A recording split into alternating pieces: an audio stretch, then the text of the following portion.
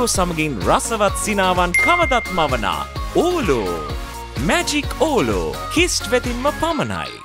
ජනාධිපති රනිල් වික්‍රමසිංහ පසුගිය සතියේ රීසෙට් ශ්‍රී ලංකා සමන්ත්‍රණයදීම කරපු කතාවේ ඔහු ජාත්‍යන්තර මූල්‍ය අරමුදල තමයි එකම මාර්ගය කියන එක පැහැදිල් ලෙස කියන. ඒ වගේ මේ දිනවල ඒ සඳහා තමයි කටයුතු කරමින් සිටින්නේ කවරු හරි පාලිමේන්තු මන්ත්‍රීවරයෙක් වේවා වෙන පාශවයක් වේවා වෙන ක්‍රමයක් යෝජනා කරනවා නම් ඒ විකල්පය කියන්න කියලත් ඔහු යෝජනා කරනවා. දැන් මේ කාර්යමණ්ඩල මට්ටම එකගතාවයකට එනකං අපිට කරන්න පුළුවන් ප්‍රධානම ප්‍රතිසංස්කරන වලින් අපි කරලා නැති දේවල් මොනවද. දැනට කලින් මූලික වශයෙන් අපි කලන දෙකක්තම අපි නැවත සමාලෝචනය කරපු ආදායම් වියදම් වාර්තාවක් මූලික වශයෙන් අපි ඉදිරිපත් කරන්න ඕනේ. එතනද ජනාධිපතිතුමා කියන එක මංහිතන්න ඒකට මම ඊටට තරමක් වෙනස් සදසක් දකින්නේ එකන අන්තර්ජාතික මූල්‍යර මුදල පමණයි අපිට තියෙන එක කියන එකට වඩා මම කැමතිී කියන්න ආර්ථිකය ප්‍රතිසංස්කරණය කරන එක විතරයි අපිට තියෙන එකම මාර්ගය කිය.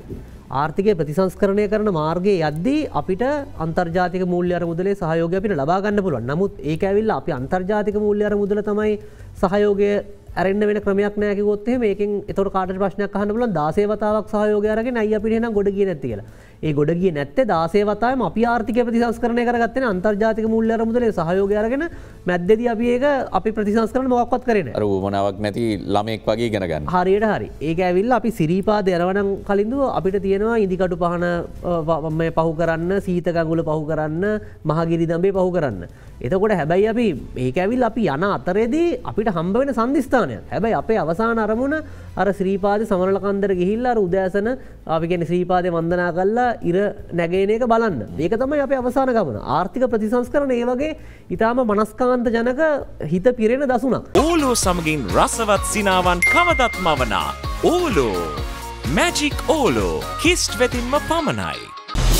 අද දෙරන YouTube නාලිකාව YouTube අද දෙරන දැන්ම සබස්ක්‍රයිබ් කරන්න.